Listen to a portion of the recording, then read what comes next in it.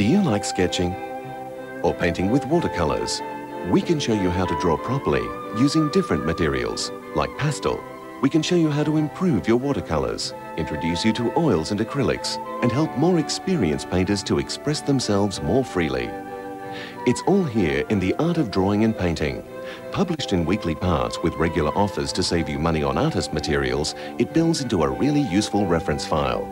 Don't miss part one on sale now.